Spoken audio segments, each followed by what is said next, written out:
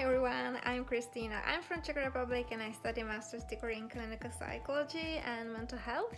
And because it's a volunteering week, I'm here to tell you a little bit about my volunteering experience. So I volunteer with Discovery, which is a student-led charity based in Swansea, and I started volunteering with them last autumn, and I'm currently involved in three different projects. The first project I'm involved in is called Supported Volunteering Scheme, it's a project where I give a weekly call to adults with additional needs, and sometimes it's just a quick call, and sometimes we do some activities as well, such as creating word search on a given topic, so no two calls are the same. The second project I'm involved in uh, is called Wellbeing Champions, and it is a project that aims to enhance students' well-being. We run weekly sessions every Wednesday at 2 p.m., so you are well welcome to join us.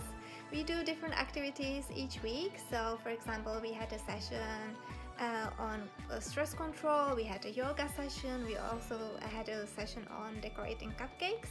So, it's a really wide range of activities.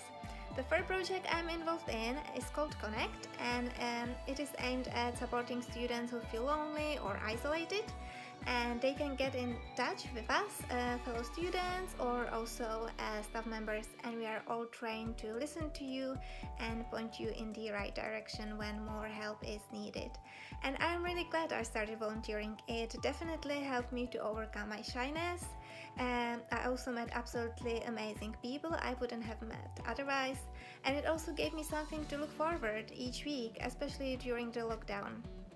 And sometimes you might not feel like make the call, but you do or attend the session and you feel absolutely great afterwards. So you not only give to the community, but you also uh, helping yourself. And I would encourage everyone to try volunteering. And even if English is not your first language, as it is in my case, uh, just don't be shy, don't be worried, go for it.